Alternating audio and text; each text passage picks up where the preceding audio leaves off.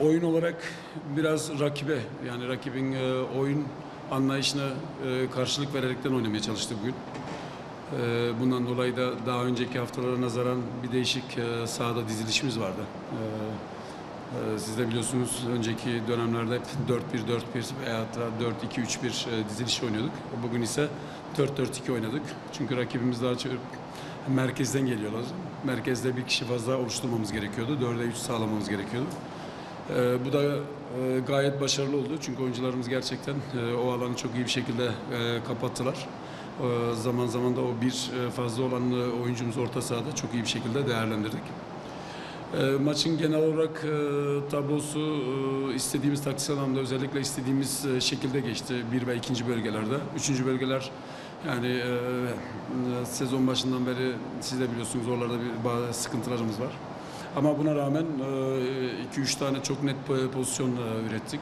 Genel olaraktan oynamış olduğumuz oyundan, e, oyun disiplininden, mücadelede, mücadeleden e, son derece mutluyum. Siz soruyu sormadan ben cevaplandırayım. Çünkü eminim soracaksınız e, transfer tahtası ne oldu diyerekten. Evet arkadaşlar transfer tahtası maalesef iki arkadaşımızın yüzünden açamadık. E, Çok üzücü. E,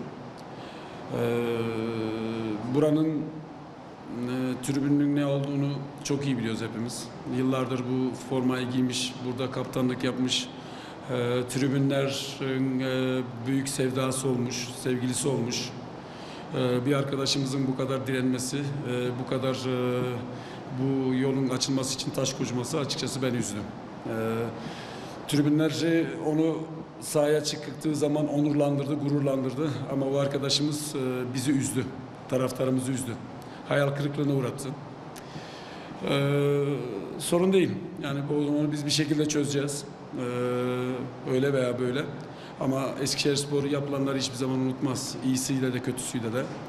Ee, biz tribünlere oynamıyoruz. Biz e, gerekenleri yapmak için buradayız. Yani biz bunu öyle veya böyle bir şekilde çözeceğiz. Ee, bunun şeyi yok. Çünkü iki dosyamız kalmış. Bu iki dosyayı da önümüzdeki e, günlerde e, çözüp önümüzdeki haftadan itibaren de inşallah aylardır bekleyen arkadaşlarımızın e, lisansını çıkartıp bu arkadaşlarımızla birlikte sezon sonuna kadar güzel işler yapacağız. Bundan hiç kimsenin şüphesi olmasın.